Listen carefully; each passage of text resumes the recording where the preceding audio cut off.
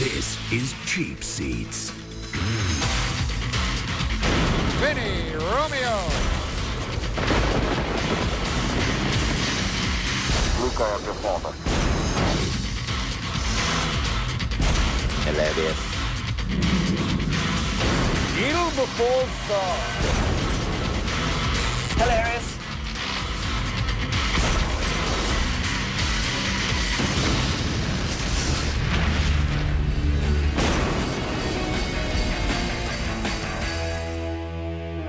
Hey, gang. Welcome to Cheap Seats. We are very excited because today we're going to revisit one of our favorite non-sports, the Scripps Howard National Spelling Bee, where kids just get to be kids who are put on a stage in front of a nationally televised audience and asked to spell words that would make a dictionary editor wet his pants. Remember, most of these kids are only 12 or 13. And at a pubertal age, your number one goal is just to fit in. Wait a minute. What was that word you just said? Puberal. Uh, what's the language of origin, please? It's Latin. Definition, please. Puberal. Of or relating to puberty. Puberal. Could you use it in a sentence, please? You were pretty damn ugly when you were puberal. Yeah, well, you were puberally pathetic. I didn't know you were in a mariachi band. Well, I look like you, okay? So who's laughing now, huh? Just spell the word. Puberal. P-U-B-E-R-R-A-L, puberal. Oh, sorry. This must be bringing up a lot of stuff for you. No, it's not. Spelling, spelling words on the dance floor, spelling till you can't even spell no more. Spelling, spelling on a Sunday afternoon. Bumblebee presents Freeze it. The White House is sponsored by Bumblebee? No, Halliburton. Hi, everyone. I'm Suzy Kolber. My partner for the next three hours or so is Katie Kerwin, the 1970 Rocky Mountain News in Denver. Just so happens that the Rocky Mountain News sponsored Katie back in 1979. Who's sponsoring her now? Halliburton? Spelling spectrum here. She's winning championships in the 70s and Kolber rocking the power suit and Kerwin rocking the red carpet from the ESPYs. why would E ESPN2 want to cover a Who's next to Cameron? His intern. I thought interns in Washington like to work under the desk. Folks! cilantro. Leaves of the herb McNutt! coriander used as a flavoring or garnish. Mick, hell yeah. Cilantro May I have the word origin? And a side of waffle fries? is uh, originally a Latin word. We took it from Spanish. Just like Seve Ballesteros. Could you use it in a sentence, please? Okay, cilantro. As in, seriously, dude, you've never heard of cilantro? Ellen uses unusual flavors like cilantro to enhance her soybean burgers. That makes no sense. Why would you need to enhance the already incredible flavor of a soybean burger? Are there any alternate pronunciations? McNutt, McStalling. Cilantro, cilantro, well, two and a half maybe. Cilantro. I love that show. Two and a half pronunciations. Sheen and Cryer, comedy gold. Cilantro. Okay, he's got this one in the McBag. S-I-L-A. Oh, God, that's McAwful. Cilantro. Cilantro is C-I-L-A-N-T-R-O. Randy Jackson looks great. Yeah, but Simon Cowell looks exhausted. Victoria Jackson? Omnilegent. It's an adjective. Cool kid. We've got a cool kid. You know Bumblebee's praying for her to win. by encyclopedic reading. Omnilegent. Could you repeat that word again, please? Omnilegent. Sponsored by Nike. Yeah, too bad for Spalding. McNutt was their big gun. Omnilegent. O M N I L O G E N T. Omnilegent. Omnilegent. Why a still photo of the bell? Unless it's the Liberty Bell or George Bell, I don't care. Whatever, I got a mall to loiter in front of later. Church hurts. This is dumplings of a pasta made with cheese or riced potato. And First cilantro, now this? What are they getting their words from the Olive Garden menu? Gnocchi. Um, can you use it in a sentence, please? Can you talk a little faster, please? Label, ladled a cream sauce over the gnocchi before I did it all for the gnocchi. Come on. The gnocchi. Come on. So you can take that cookie and stick it up your... All right, that's enough. Gnocchi uh, was originally a Germanic word, but uh, it was Italian when we borrowed it. And we're keeping it until they give us back our snowblower. Gnocchi and gnocchi. The what? And they list an Italian pronunciation as gnocchi. The what? Gnocchi The what? or gnocchi? The what? Gnocchi? The what? Gnocchi. Deep sigh before spelling the word equals goner. N-A-U-C-C-I. Gnocchi. Gnocchi is G-N-O-C-C-H-I. Succedaneum. Cameron, you dirty bird. Succedaneum. No. Man, when your word is almost a complete sentence, you know you're in trouble. Danium. What does it mean? This What's is- this kid this doing? He can't get into the comfort room. He's not on the list. And he's wearing sneakers. after or replaces another in an office position or role. Succedaneum. Dear Lord, explain to me why I get this word and McNutt gets cilantro. And I want a PlayStation 2 for Christmas. Amen. Succedaneum. S She's You- got it. C C She's got it. D She's A got it. N I Ooh, no PlayStation for you. Ooh, you know you screwed up when you get the full screen bell cutaway. A-N-E-U-M. We all know that when kids misspell words, they go to a place called the Comfort Room. Now, in 1995, the Comfort Room coordinator was a woman by the name of Mary Ann Jung. The program listed her occupation as an actress who often appears as Queen Elizabeth I. Often appears? Where? At bar mitzvahs? And if you consider yourself a thespian but end up managing the comfort room at a spelling bee, it might be time to let the dream die. And what did she think that listing it in the program might get her some acting work? It'd be like me saying, in addition to co-hosting a show on ESPN Classic, I'm a master calligrapher and I dabble in falconry. See, I never knew that about you. Stay with us. You gotta start listing that in the TiVo guide. Why? So I can get more work addressing invitations for zoo fundraisers? That's absolutely why.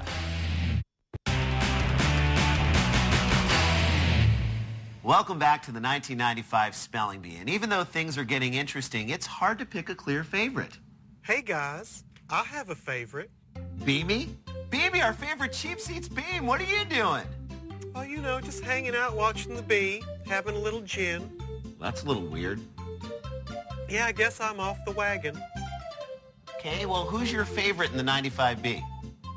Well, I got a lot of money riding on Justin Carroll. Wait, you bet on this? Yeah, I used to have kind of a bad gambling problem, so I guess I'm off that wagon too. Well, I'll see you guys later. Okay. Wow, we're seeing a whole new side of Beamy here. Well, let's get back to the action and see if he's right. We're in the middle of round five. There are 20 girls and 20 boys left. What you Dilbert? said great was Beth Dorman. I love your quirky office games. Sometimes Pythagorean. I wonder if he can get Catbert to write us a fake performance review. This is uh, an adjective that means of or relating to the Greek philosopher Pythagoras. Thank you. and good night, folks. I'm out of here. Pythagorean. And Dogbert wears glasses and secretly wants to enslave all humans. T H A G O R E A N. Pythagorean. Now get back into your cubicle and finish up that report, Dilbert. Oh, he's probably seen that in math. Who's the cutest little speller in the world? Gooey, gooey, gooey. She's back. Our little speller's back. My God, she has aged a lot since last year. Yeah, she has really let herself go, but she's still cute. Esophagus. Um, can I have the origin? Greek. She kind of looks like a Shetland Marcy from Peanuts. Can I hear the word again, please? Harold's doctoral dissertation is a study of Mycetophagous beetles. Well, this Harold sure sounds like a fun guy to party with. Mycetophagous. Has a first name, it's O-S-C-A-R. Y Because I said so, damn it. Is it my citographer? My citographer? Uh, no. Oh, she is so cute. Just give her the word. Do you think she's cuter than the gremlin before it became a gremlin? Yes. She is a human mogwai. My citographus. No, tophagus. Cutest! My Mogwai! Tophagus. M Y S. And no.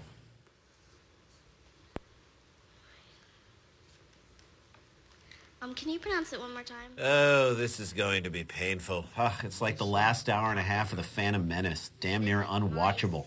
And too much CGI. My citophagus. Oh, my little cutie one, my gooey one. When you gonna spell for me my esophagus? My citophagus. My, my, my, my, my. Woo!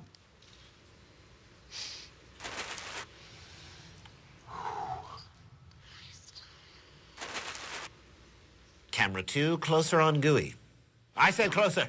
Y S. Yeah, it's still wrong. What do you think's going through her mind right now?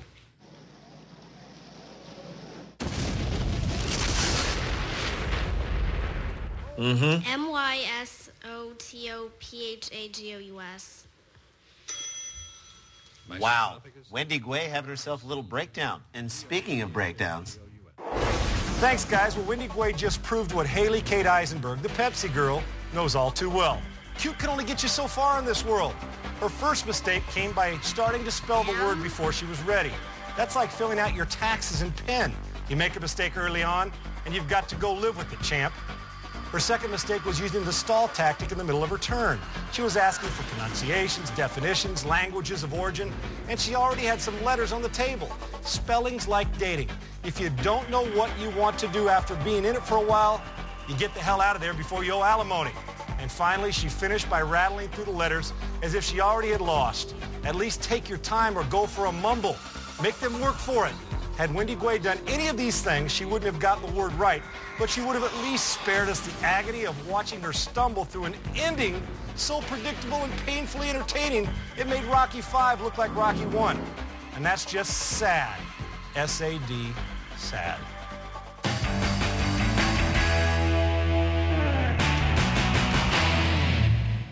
your word is care. Could you use it in a sentence? Sure. Do you care? Do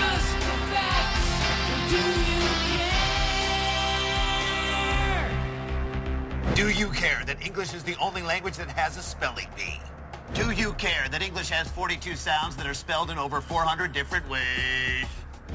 Do you care that the American Literacy Council is trying to simplify English, which in turn would render spelling bees obsolete? Yeah, I care. Without the B, bullies would be out of work. Yeah, the streets would be full of young, unemployed bullies with nowhere to go. And then we'd have angry, young, homeless bullies who'd burden the welfare system and burden the working class. And I don't work hard and pay taxes so some 12-year-old homeless bully can sit around and live off my dime. Anthesis is the opening of a flower. Full Is he at a piano? Yeah, he's like a financially stable Billy Joel. Try that in the mic. It sounds right. Anthesis? Bangs, look out! He's a shoo-in for the Lloyd Christmas bee. Are there any other definitions? No. Oh, snap! Piano Man went off! A Long shorts. E S I S. Where's this kid going? Uh-oh, crazy train pulling into the station. Let me just move this a few times. One, two, three. Sciolistic. Sciolistic. Can I have a definition, please? You better give it to him. An adjective, and it means displaying. The or Vindicator is a newspaper? No, it's Vin Diesel's website. He's really into spelling. Yes. Sciolistic. S-I-A-L-I-S-T-I-C. Perfect. Sciolistic is S C I O L I S T I C. That kid left so fast. How fast did he leave? Let's find out.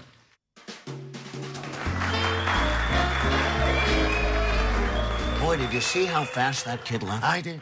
That kid left so fast. How fast did he leave? He left so fast he's the Larry Brown of the beat. That with Isaiah in the Hamptons. That kid left so fast. How fast. fast? He left faster than Shawn Kemp at an alimony hearing. Wow. Left his kids high and dry. A lot of little ones. That kid left so... He left so fast. He's like Onterrio Smith at a Whizzinator store. Mother, he's not even using his own... Naupathia. Kimberly already looks like somebody's mom. This is a word for seasickness. I'd rather take a pill for seasickness. Naupathia. Ah. Her kids must be so proud of her. About a third of the ship's Boy, the way Glenn Miller played. Songs that made the hit parade. What's the origin?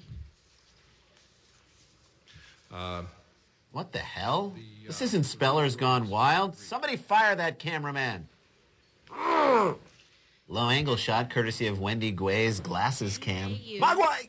P A T H I A. Naupathia. Kimberly skated through Whoa, whoa, whoa, whoa, whoa. You got the word right. You don't have to leave. Well, excuse me. Yeah. You're the best around. Hiemal. What? I wouldn't have expected to find spelling bee contestant among her early work. I heard she beat out Jill Kelly and Kobe Tai during the regionals. Can you give me the word origin? please? Hiemal. Hello, yes. Eileen, cover your laptop. She can read that. Just let me finish checking my email. Ooh, a Blue Mountain e-card. The Hiemal weather took its toll on Vera's old house. And that's when the gardener showed up. No. Whoa, that was a weird look. Hiemal. Hi, Mill. Hello, yes. I don't think I've ever seen Jenna Jameson concentrate this hard. Hiemal. Hello, yes. H I A M A L. Hi, Emil. Hiemal. Hiemal is uh, H-I-E. Look how polite she is, waiting for the proper spelling. Jenna Jameson is nothing if not dignified. For some reason, how they all have such different... The boy who won last year... uh, Hey, Christmas, the mic stand is adjustable. Again, too much pressure. Is he trying to hear Cameron through the microphone? Haplology. Haplology? What you talking about, Cameron? Right. It's um, a contraction of a word by the omission His sponsor is commercial appeal? And why not? Because who in this spelling bee has more commercial appeal than Justin Carroll? We stand corrected. Haplology. Okay, Justin, it's a spelling bee, not a saying bee. Let's get to spelling. L. You can't spell haplology without laughing out loud. Unless you're Justin. What are you talking about? Justin's all about keeping it light. Spelling bee, it is luck of the draw. Ah, Got life. a word he knew, and he's going to advance for that. Well, things are really heating up. Justin Carroll is on Yeah, it. you know what else is f***ing heating up? Also? Whoa, hey, Beamy, relax, man. Hey, what? I am relaxed. What are you talking about? Are you drunk? Hey, you damn right I'm drunk. I, I got 15 grand riding on this thing. All right, guys, you know what? Can we lose the beam effect? Yeah, this is really uncool. I mean, you don't just show up to work drunk, John. Well, who's John? My name is Beamy. All right, fine. Beamy, you you obviously have a drinking problem. You very clearly have a gambling problem. You need help. I don't know how much more clear we can spell it out for you. Oh, well, maybe I can spell it out for you. S-P-E-U. All right. Oh, come on. Come on. Cut him off. Cut you off. Get him some coffee. You you go coffee. All right, we'll be back after this. Ooh, you I'll you be back. We, will be We back. will be back. actually. Good, maybe when you come back, you can. Oh, come on. What?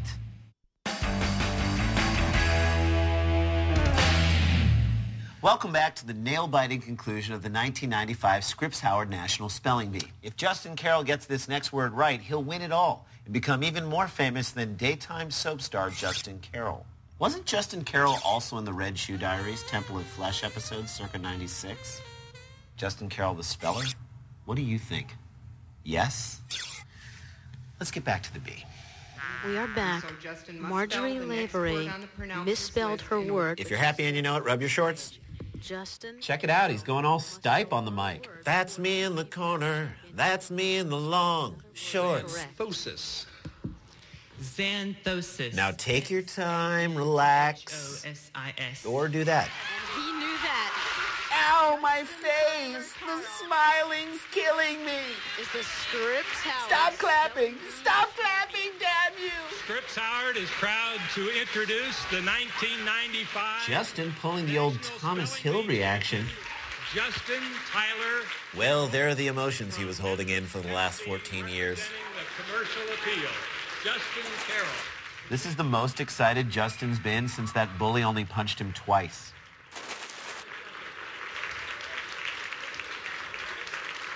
All right. Oh, that's so cool. They're bringing in Justin's parents. Or the girl who just lost to rub it in her face? So I'm here with the 1995 National Spelling Bee champion. And a big Whoa, whoa. Katie is talking here. Can you spell disrespect? a lot of determination and optimism that helped me too through it. And being locked in the house for 14 years probably helped too. Syncretize. Syncretize. And how'd you pull it off for us? I cheated. Remember when I was listening to the microphone? My dad was feeding me the You letters. know, to ask. And I tried to think of anything that might be related to that word. So what are you going to do now with your winnings and now that you're the National Spelling Bee champion? I don't know. I'll probably buy some friends. Kids can be pretty shallow. I'll have time to think about that later. I love this kid. Justin Tyler Carroll may just be going to Disney World. Or the library. Same thing in his mind. Eighth grader. And you could. Well, there you have it. Justin Carroll put his ear to the microphone, his knee to the grindstone, and like Macaulay Culkin, left all sucker MCs home alone. And while we're happy for Justin, we're in a bit of a pickle. We now have to find a way to unload 10,000 Wendy Guay bobblehead dolls. My way! Maybe we can start giving them away as cheapies.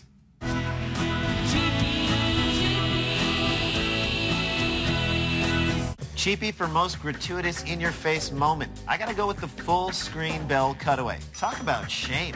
Why didn't they just go all out and add this noise? Mine goes to this guy for pulling the runner-up on stage just to get her close enough to the trophy. What? All right, well that's our show. Hey guys, I got a cheapie. Be me. We're done with the cheapies. No, I got one more. Least valuable beam. And that'll be me, be me. Guys, I, I'm real sorry. I, I apologize. Be me. You don't have to apologize. No, yes I do. Now, now shut up and let me finish.